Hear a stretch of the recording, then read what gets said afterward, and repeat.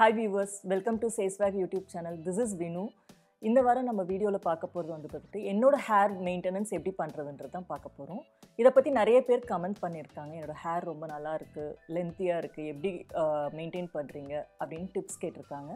அதனால் இந்த வீடியோ நாங்கள் பண்ணியிருக்கோம்.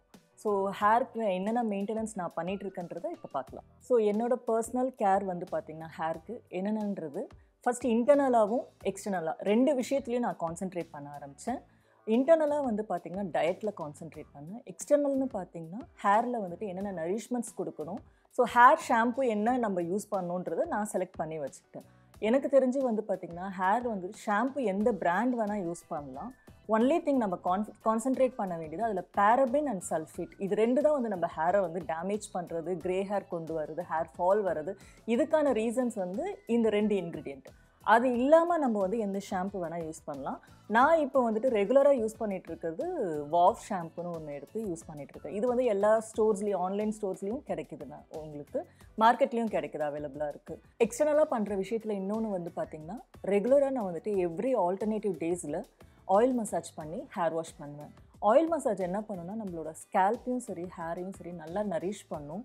ஹேர் வந்து நல்லா திக்கன வளர்கிறதுக்கு ஹெல்ப் பண்ணும். ஸோ இதுக்கு வந்து நான் ஸ்பெஷலாக வந்து வீட்லேயே ஆல்ரெடி நான் உங்களுக்கு இந்த டிப்ஸ் எல்லாம் சொல்லியிருக்கேன். அதே மாதிரி நான் வீட்லேயே வந்துட்டு ரெடி பண்ண ஆயிலில் தான் வந்துட்டு நான் ஹெர்பல் அது வந்து ஹெர்பல் ஆயில் கேஸ்ட் ஆயிலும் கோகனட் ஆயிலும் மிக்ஸ் பண்ணி அதில் வந்துட்டு நான் நிறைய ஹெர்ப்ஸ் போட்டு அதை கொதிக்க வச்சு அந்த ஆயிலை தான் யூஸ் பண்ணுவேன். ஸோ அந்த ஆயிலை தலையில் தடவி ஒரு ஹாஃப் அன் ஹவர் விட்டு அண்ட் தென் ஹேர் வாஷ் போவேன். இந்த மாதிரி ஹேர் வாஷ் பண்ணும்போது நம்மளோட ஹேர் வந்து நல்லா திக் ஆகும். ஒவ்வொரு ஹேருமே வந்து நல்ல ஒரு திக்காக வரும். பிரேக் ஆகாது. இது வந்து பிரேக்கேஜை வந்து அவாய்ட் பண்ணுறதுக்கு யூஸ் ஆகும்.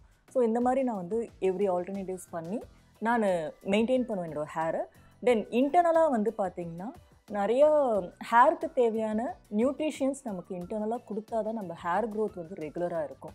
ஸோ அதுக்கு நான் என்ன என்ன பண்ணுவேன்னு பார்த்தீங்கன்னா எவ்ரிடே வந்துட்டு நெல்லிக்காய் ஜூஸ் குடிப்பேன். நெல்லிக்காய் கருவேப்பிலை அண்ட் தென் அது கூட வந்து பார்த்திங்கன்னா கொஞ்சம் ஹனியும் லைமும் மிக்ஸ் பண்ணி ஃப்ளேவருக்காக மிக்ஸ் பண்ணி அதை வந்து ஜூஸ் மாதிரி காலையில் எம்டி ஸ்டொமக்கில் குடிச்சிட்டு வந்தேன் ரெகுலராக அது கூட வந்து பார்த்திங்கன்னா கரிசலாங்கண்ணி வந்துட்டு நமக்கு ரொம்ப நிறைய நியூட்ரிஷன்ஸ் இருக்கிறது கரிசலாங்கண்ணியில்.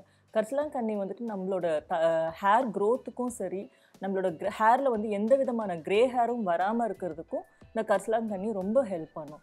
அதனால் நான் கரிசலாங்கண்ணி ஜூஸ் வந்துட்டு ஒரு ஒன் மந்த் ரெகுலராக வந்து நான் மார்னிங்கில் எடுத்துப்பேன். கரிசலாங்கண்ணி ஜூஸ் பனங்கற்கண்டு இல்லைன்னா பனை வெல்லம் இதை மிக்ஸ் பண்ணி ஒரு பானை மாதிரி கொஞ்சமாக லூப் வார்ம் பண்ணி அதை வந்துட்டு அப்படியே நான் ட்ரிங்க் பண்ணிடுவேன் கொஞ்சம் கஷ்டமாக தான் இருக்கும்.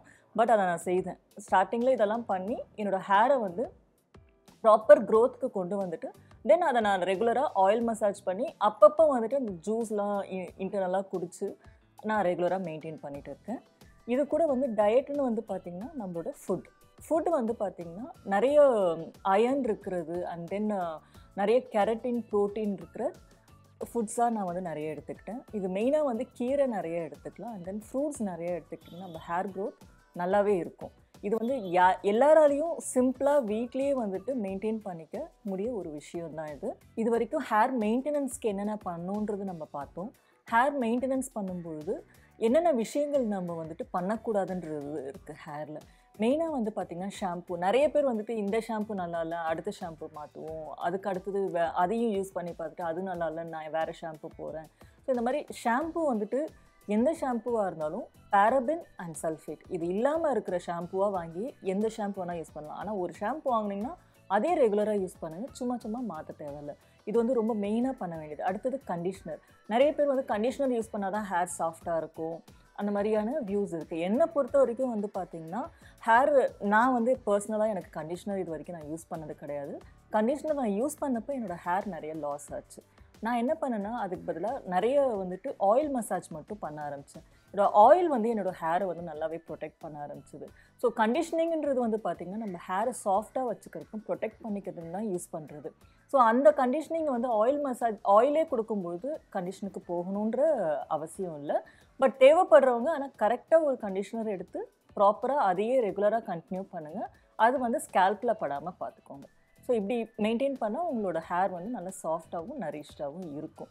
அது ஆப்ஷனலாக வச்சுக்கோங்க கண்டிஷனரை பொறுத்த வரைக்கும். அடுத்தது வந்து பார்த்திங்கன்னா ஹேர் நிறைய பேர் வந்து வெளியே போகிறதுனால ஆயில் வைக்கிறது விரும்ப மாட்டாங்க. ஸோ மேக்ஸிமம் வீட்டில் இருக்கும்போது ஆயில் வச்சு ஹேரை நல்லா கோம் பண்ணி நீட்டாக மெயின்டைன் பண்ணுறதுக்கு பாருங்கள் முடிஞ்ச அளவுக்கு வந்து ஹேரில் வந்து நிறைய ஆயில்ஸ் வச்சு மெயின்டைன் பண்ணுங்கள் அது வந்துட்டு ஹேரை நல்லா நரிஷ்டாக ஹேர் திக்காக வளர்கிறதுக்கு அண்ட் தென் ஹேரில் க்ரே ஹேர் வந்துட்டு பரவாமல் இருக்கிறதுக்கு ஹெல்ப் பண்ணுறது ஆயில் தான். ஆயில் நீங்கள் வந்துட்டு இந்த மாதிரி ஹெர்பல் ஆயில் தான் யூஸ் பண்ணக்கூடாது. சிம்பிளாக கோகனட் ஆயில் அண்ட் கே கேஸ்ட் ஆயில் இது ரெண்டுமே வந்துட்டு ஹேரை வந்து நல்லா வளர்கிறதுக்கு அண்ட் தென் ஸ்ட்ராங்காக வச்சுக்கிறதுக்கு ஹெல்ப் பண்ணும். சேம் டைம் ஹேர் வந்துட்டு நேச்சுரல் ஷைன் கிடைக்கும் உங்களுக்கு. அண்ட் தேவைப்படுறப்ப நீங்கள் முட்டையும் யூஸ் பண்ணலாம். முட்டை வந்து அப்பப்போ பேக் மாதிரி அப்ளை பண்ணியும் யூஸ் பண்ணலாம். ஹேர் டிப்ஸ் நாங்கள் இதுக்கு முன்னாடி நிறையவே கொடுத்துருக்கோம். பேக் எப்படி பண்ணுறது எக் வச்சு பேக் எப்படி பண்ணுறது ஹனி மாஸ்க் எப்படி பண்ணுறது ஸோ இந்த மாதிரியான டிப்ஸ் எல்லாம் நீங்கள் ஃபாலோ பண்ணி நீங்கள் வந்துட்டு உங்கள் ஹேரை மெயின்டைன் பண்ணிக்கலாம். நான் வந்து ஹானஸ்ட்டாக இந்த மாதிரி தான் ஹேரை வந்து நான் மெயின்டைன் பண்ணிகிட்ருக்கேன் ஓகே வியூவர்ஸ் என்னோடய பர்சனல் கேர் பர்சனல் ஹேர் கேரை பற்றி உங்களுக்கு நான் சொல்லியிருக்கேன். ஸோ நீங்கள் அவசியம் ட்ரை பண்ணி பாருங்கள் உங்களுக்கு ஏதாவது டவுட்ஸ் இருந்ததுன்னா கமெண்ட் பண்ணுங்கள் ஷேர் பண்ணுங்கள் லைக் பண்ணுங்கள் மறக்காமல் வந்துட்டு கீழே இருக்கிற சப்ஸ்கிரைப் பட்டனை கிளிக் பண்ணுங்கள்